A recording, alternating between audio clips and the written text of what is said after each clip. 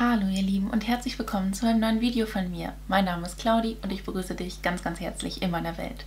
Heute habe ich für dich ein ganz besonderes Unboxing, denn äh, ja, die Artenschutzbox hat mich erreicht. Schaut so aus. Und wenn du Bock drauf hast, mit mir zusammen reinzuschauen, dann hol dir was zu essen, hol dir was zu trinken, lehn dich zurück, genieß die Show und viel Spaß mit dem Video.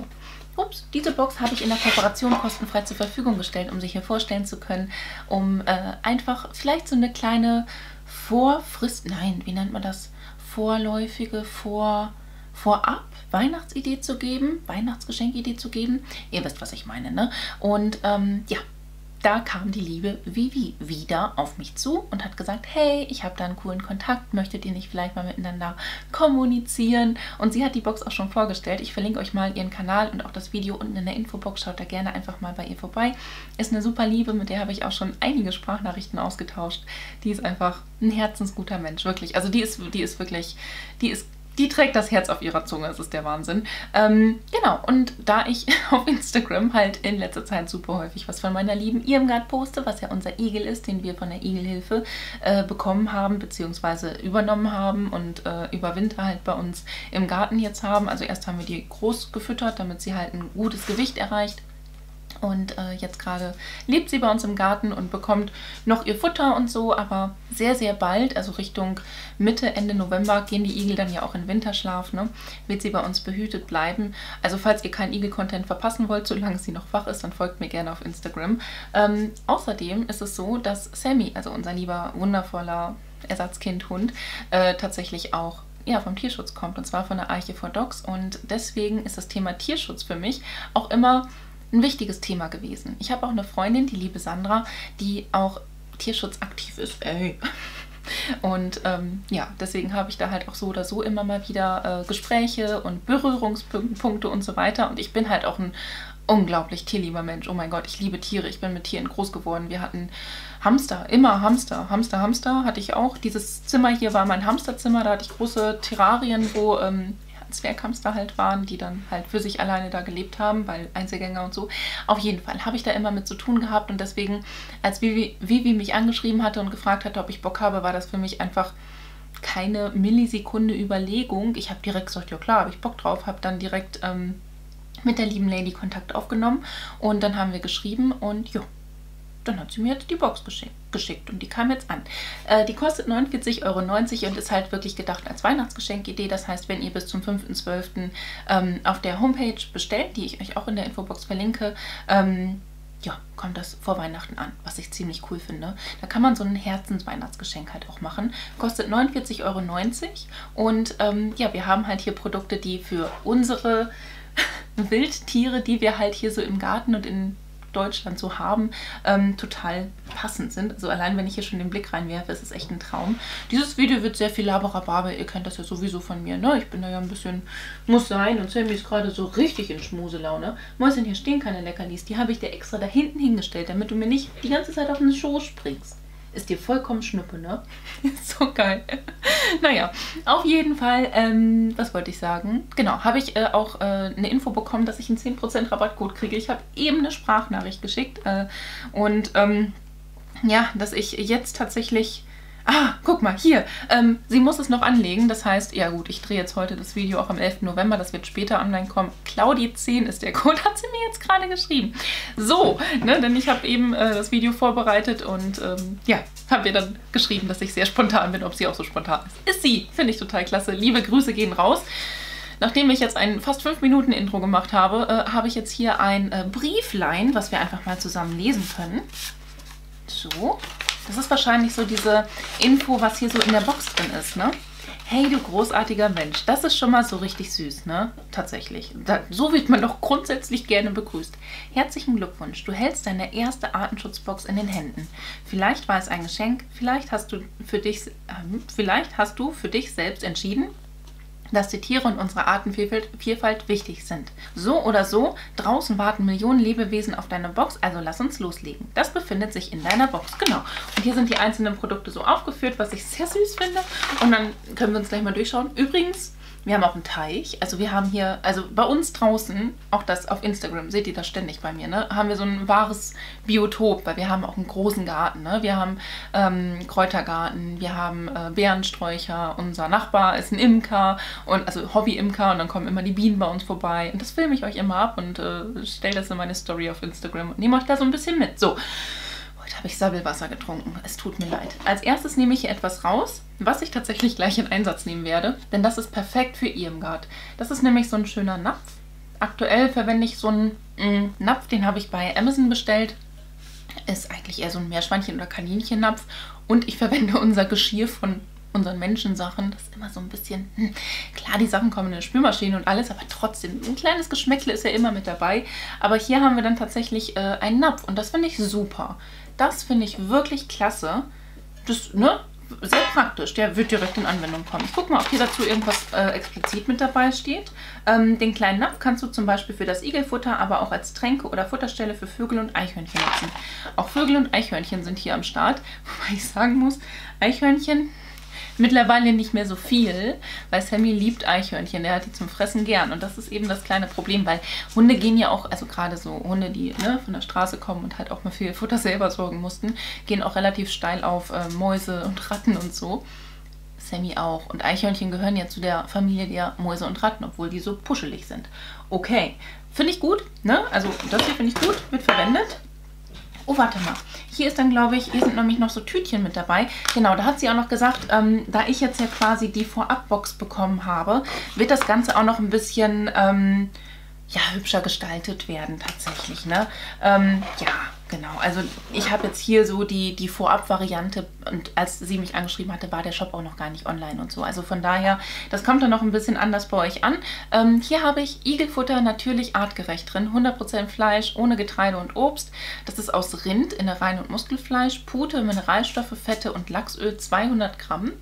Ja, aktuell bekommt Irmgard tatsächlich so ein ähm, ja, Katzenfutter, ne, was uns empfohlen worden ist von meiner äh, Freundin beziehungsweise auch von der lieben Eileen, die dort bei der Igelhilfe auch arbeitet. Ähm, aber das hier wird sie heute Abend auf jeden Fall bekommen. Ich hoffe, es schmeckt ihr. Und äh, ja, es ist auch ihre Ration. Ja, vielleicht ein bisschen mehr mittlerweile, weil die ist echt ein Brocken geworden. Und hier habe ich noch mehr Igelfutter. Finde ich total super, ne? Also da ist auch nochmal genau das gleiche drin. Auch nochmal 200 Gramm. Kannst du auf jeden Fall einen Igel glücklich mitmachen. Also das finde ich schön, ne? Passt auf jeden Fall. Und in manchen Bundesländern, das hat mir nämlich die äh, Igelhilfe auch erklärt, ist es so, dass die Igel unter ähm, Artenschutz auch tatsächlich stehen, also dass sie vom Aussterben auch bedroht sind. Ich glaube, in Bayern ist es so. Äh, Hammer. Also ich wohne ja in Nordrhein-Westfalen. Ähm, kann ich mir auch gut vorstellen, weil du hast ja auch ziemlich viele Monokulturen. Du hast gar nicht mehr so diese Versteckmöglichkeiten, weil Leute machen, die machen alle ihre, ihr Laub weg und so.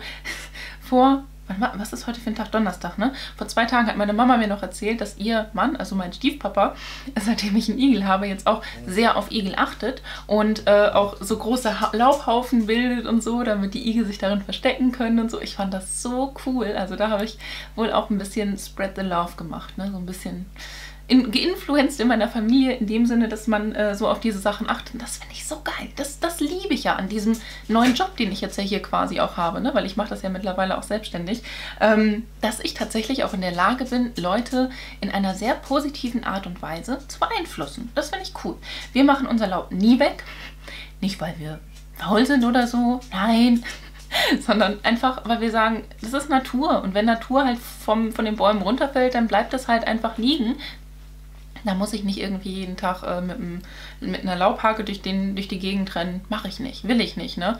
Und ich glaube, dass das auch unserem Garten und auch den, den Tieren, die hier so einfach auf unserem Grundstück ja auch einfach leben, gut tut. Also da hat sich bislang noch keiner beschwert.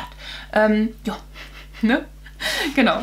So, steht hier eigentlich zum Igelfutter noch irgendwas drin? Gott im Himmel, sie schweift ab. In den letzten zehn Jahren sind bis zu 70 Prozent der Insektenpopulation verschwunden. Das ist hart, ne? Die Menschen freuen sich darüber, weil die denken, es sind halt viel weniger Nervtiere da, aber es sind ja Nutztiere, weil es sind ja einfach Tiere, die dann auch als Nutzen Futter sind, ne? Das ist krass. Äh, und Igel finden kaum noch Nahrung. Füttere sie, aber bitte ohne Milch. Stimmt, denn die sind laktoseintolerant. Das habe ich auch äh, gelernt tatsächlich. Das finde ich ganz interessant. Die können das nicht verdauen. Obst oder Getreide. Genau, auch das fressen die einfach nicht. Äh, Igel brauchen hochwertige Proteine. Ja, Deswegen ne, gibt es entsprechend da auch äh, richtiges Futter für. Das wusste ich gar nicht, dass es extra Igelfutter gibt. Und halt ähm, die verschiedensten Katzenfuttersorten, die da auch empfohlen worden sind. Finde ich sehr, sehr interessant übrigens. So, dann kommen wir mal zum nächsten. Da habe ich jetzt, ich könnte das auch in den Hintergrund stellen, ne? dann seht ihr das nämlich noch ein bisschen länger. Also wie gesagt, diese Box bis zum 5.12. bestellen, dann habt ihr halt auch genau diesen Inhalt Finde ich ziemlich cool. Ähm, so ein süßes kleines Hotel. Ich würde es jetzt als Insektenhotel bezeichnen. Wir haben bei uns auch äh, ein großes Insektenhotel hängen. Das hängt bei mir über den, äh, ich nenne das, nein, eigentlich hat das der ähm, Lebensgefährte von meiner Sch Sch Schwiegermama in Spee, so genannt, die italienische Ecke. Da habe ich einfach nur ein paar Blumenkübel stehen auf so einer, äh, ne, da, sind, da lagen vorher schon so Waschbetonplatten, da haben wir jetzt aber einfach irgendwelche Fliesen hingelegt und da stehen halt große Blumenkübel drauf, meine Rosen stehen da. Ähm, da steht auch eine wie heißen die nochmal? Hibiskus steht da, Flieder steht da. Also ne, eine schöne Ecke habe ich da gemacht. Und da ist natürlich auch echt die Party mega im Gange. Ähm, so im Frühjahr, im Sommer und im Herbst halt auch noch ein bisschen, ähm, was so Insekten angeht. Und deswegen hängt da halt ein großes Insektenhotel. Und ich glaube, das hier ist auch eins. Das ist so mit Heu gefüllt. Das hier kann man so rausziehen. Genau, dann, upsala, hast du hier Heu und Stroh drin und kannst das wohl erneuern weil ne, die machen da natürlich ja auch rein. Auch Insekten machen Pupu oder irgendwie sowas ähnliches wie Pupu. Das sehen wir ja manchmal, wenn wir Fliegenkacke an den Fenstern finden. Ne? Und das finde ich ganz süß mit diesem Herzchen. Das ist aus Holz. Also sowas finde ich total schön. Deswegen, also meiner Meinung nach auch ein richtig tolles Weihnachtsgeschenk. Ähm, so, was haben wir denn hier? Äh, also wir haben hier ein Nist Nee, ein kleines Insektenhaus oder Kästchen ist mit Holz, Stroh und Heu ideal, um ein Zuhause für eine Insektenart zu bieten. Bring es irgendwo unter, wo es sicher steht, am Zaun, an einer Mauer, unter einer Treppe. Ja, definitiv. Also vielleicht werde ich das einfach an äh, die andere Ecke des Grundstücks hängen, also dann quasi, wobei das ist fies, ne? Dann habe ich, weil ich habe auf, auf der Seite habe ich quasi das Insektenhotel, wo dann quasi die Insekten wohnen können und auf der anderen Seite habe ich dann so auch Vogelhäuschen und sowas hängen, weil ich mir gedacht habe, dass das ein bisschen makaber ist, wenn ich ein Insektenhotel neben ein Vogelhäuschen hänge, weil das ist dann so ein bisschen Snack to go für die Vögel, ne? Aber cool, ja, vielleicht mache ich das aber trotzdem einfach mal. Ist doch irgendwie ulkig, ne? Genau. Und das kann man äh, entweder, dass du halt hier hinten so einen Haken dir einfach ranmachst, ne? Oder man kann ja auch das, das hier rausnehmen, dann geht es ja auch easy peasy, dass man das quasi, ja, hier kannst du ja auch durchbohren, ne? Und dann schraubt man das halt direkt am Zaun fest oder an der Treppe oder an der Hauswand oder sonst irgendwo. Doch, ich glaube, das geht ganz gut, ne? Das finde ich voll süß. Echt süß.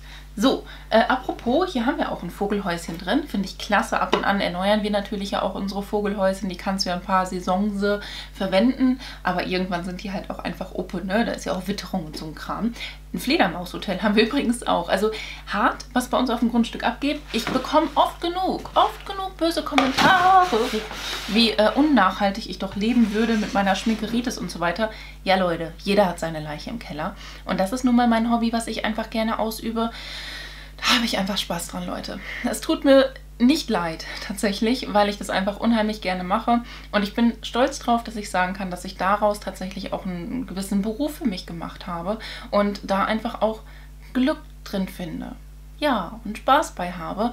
Und äh, trotzdem ja auch neben diesem Raum, der sich hier ja befindet, noch ganz viele andere Sachen sich abspielen. Eben zum Beispiel in unserem Garten, den ich einfach über alles liebe und wo wir halt alles tun, um die Artenvielfalt aufrechtzuerhalten und der Beruf, in dem ich vorher auch gearbeitet habe, war tatsächlich auch in der Tierfutterindustrie. Also da habe ich tatsächlich auch ne, immer mit Tieren zu tun gehabt. So, nur mal, by the way, weil meine Güte, manche Leute fühlen sich ja wegen Dingen auf den Schlips getreten, wo ich mir denke, lass mal die Kirche im Dorf und kehr mal vor deiner eigenen Tür. Das ist ja unmöglich. Ähm, ne? Weil ihr seht ja immer nur gewisse Sequenzen. Also bei mir seht ihr zwei Videos aktuell am Tag, ja. Aber das ist dann quasi eine Stunde aus meinem Leben, also an einem Tag quasi, mehr oder weniger. Ne? Also es gibt ja noch 23 andere, egal. Auf jeden Fall haben wir hier ein Vogelhäuschen. ah, der heiße Brei und ich rede drum herum. Hier haben wir auch tatsächlich schon einen Aufhänger mit dabei, was ich total cool finde. Denn ja, wir haben genug Nägel bei uns am Zaun, wo wir das dran aufhängen können. Hier können wir die Tür einfach so öffnen weil du musst jetzt das Vogelhäuschen natürlich auch äh, ne, äh, mindestens einmal im Jahr sauber machen, weil es wird ja dann auch immer für mindestens einen Nistvorgang genutzt. Finde ich gut, so kommt man echt easy peasy dran, kann das dann eben kurz äh, abnehmen, ausschütten, auskärchern, was auch immer, sauber machen halt. Ne? Ähm, ich weiß nicht, inwiefern das vielleicht schon lasiert ist oder so, dass man da vielleicht nochmal drüber geht. Aber an und für sich, ich finde das klasse. Auch die Öffnung hier, die gefällt mir. Die ist nämlich recht groß. Also ne, da werden unsere kleinen Meisen und so, was wir hier alle rumfliegen haben, Rotkehlchen, die werden da gut durchpassen. Das wird eine schöne Geschichte werden. Das finde ich schön. Also das ne, freut mich tatsächlich. Dann auch mit so einem grünen Dach mit dabei. Ach Mensch. Da haben wir nämlich auch von meinem äh, Stiefpapa, ist es quasi, ja, ist mein Stiefpapa, und meiner Mama äh, vor ein paar Jahren so, ein, ähm, so, eine Futterstation auch geschenkt bekommen. Die hängt nämlich, oder steht vielmehr, steckt bei uns in den Bärensträuchern drin, bei den ganzen Vogelhäuschen. So! Das Nisthäuschen ist für verschiedene Singvögel geeignet. Hänge es einfach draußen auf, ob im Garten, auf dem Balkon oder im Park. Im März wird es bezogen. Also man kann theoretisch natürlich auch sich die Box kaufen und äh, wenn man in der Stadt wohnt oder so und halt gar nicht so den Zugang hat zu einem eigenen Garten, dass man hm, Teile daraus an jemanden weitergibt, der einen Garten hat zum Beispiel. Also dass man das quasi als Geschenkbox so aufteilt, ne? weil das kannst du durchaus ja machen. Oder dass man selber eigenständig dann manche Dinge davon irgendwo montiert, sofern man das darf. Oder halt Futter dort aufhängt. Wie zum Beispiel diese mega coolen Meisenknödel. Die finde ich ja hardcore, ne? Da sind zwei Stück von drin. Die sind in so einem äh, Zebra hier. Und die sehen ja cool aus. So richtig robust. Oh, der ist rausgeflogen. So richtig robust und äh, geil. Also so, so natürlich und selbstgemacht sehen die aus. Das wollte ich sagen. Und das finde ich klasse. Das mag ich. Das ist hier so schön montiert. Ähm, den hier friemel ich hier noch irgendwie rein. Räumliches Denken. Räumliches Denken, das mache ich später. Räumliches Denken mache ich später. Ähm, ja, kann man nämlich auch gut überall draußen aufhängen. Da freuen die Vögel sich drüber. Und wichtig ist übrigens auch bei äh, Vogelfutter, ne, dass man das ganzjährig anbieten sollte. Das heißt, die Vögel, die ja auch ganzjährig da sind, ähm, also auch im Sommer, dass sie sich daran gewöhnen, dass sie da immer eine Futterstation haben. Also auch im Sommer dort Futter vorfinden werden. Ne? Da musst du das dann nicht so oft halt auffüllen, weil da finden die eigentlich genug in der Natur. Aber dass die immer wissen, hey, hier gibt's was. Wenn ich hierhin komme, dann kriege ich was. Das ist immer wichtig. Das habe ich auch lernen müssen. Ja, genau.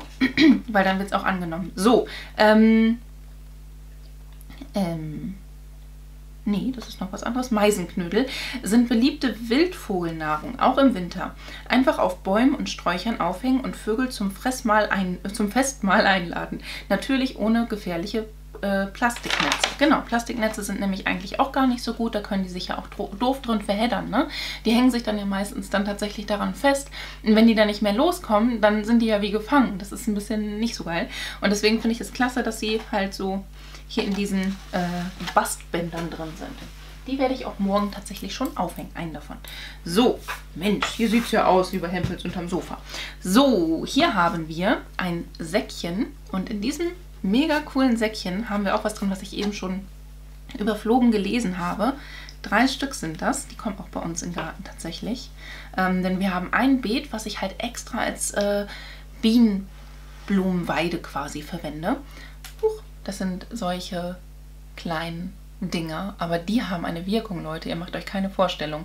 Immer mal wieder mache ich sowas bei uns dann auch in die Beete rein und da kommt eine Blumenwiese bei raus. Das ist der Wahnsinn, was da teilweise für, für Blumen bei rauskommen. Richtig schön groß und, und wundervoll. Und die Bienen, die freuen sich daran, als gäbe es keinen Morgen mehr. Und äh, ja, Hammer. Im Säckchen findest du Seedbombs. Die Samenbomben verwandeln jede langweilige Grünfläche in ein Blumenmeer. Aber bitte nicht auf Privatgrundstücken von fremden Menschen krachen lassen. April bis September, genau. Also April bis September ist, glaube ich, die Aussaat. Also ich glaube, dass man das theoretisch dann im äh, Frühling, also ich mache das immer O bis O, ist das für mich immer das Wichtige. Ne? Also ist mein Garten halte ich von O bis O, Ostern bis äh, Oktober. Das heißt, im, äh, zu Ostern kann ich die dann reinsetzen und dann werden die abgehen wie Schmitz Katz. Ist der Wahnsinn, wie die bei uns abgehen. Ich freue mich da schon drauf. genau, so, dann habe ich hier noch zwei verschiedene Geschichten. Mm, und zwar sind das wohl so Saatmischungen, die kannst du halt dann auch direkt in diesen Futterkasten packen, den ich ja bei mir zu Hause auch stehen habe. Äh, hier haben wir einmal so Sonnenblumenkerne und ähm, was ist das andere? Ist das so Weizen und, und, und halt Getreide halt, ne? Da sieht man das, glaube ich, auch ganz gut. Das ist so die eine Mischung. Und dann habe ich hier noch eine andere, da weiß ich aber nicht, ob das etwas ist, was ich verfüttern kann. Das muss ich mir gleich nachlesen. Oder ob das ähm, etwas ist, womit ich auch was säen kann. Also dass es quasi Samen sind. Mal schauen, was mein schlaues, meine schlaue Rolle mir hier so sagt. Ich fühle mich hier wie so eine Marktschreierin, wisst ihr wie? Ähm, da, Blumensamen. Die Blumensamen im kleineren Tütchen sind einheimisch und können in der Erde, in Blumenkästen oder einfach in der Wildnis ausgepflanzt werden. Sie sind bunt und gut für zum Beispiel Bienen und Schmetterlinge. März bis September mehrjährig. Genau, also das ist auch wieder für mich persönlich, ne, kopfmäßig von O bis O, werde ich auch Ostern einpflanzen und dann geht die Party ab. Finde ich klasse. Doch, Ne? Also das, sind, das ist die äh, Blumenmischung.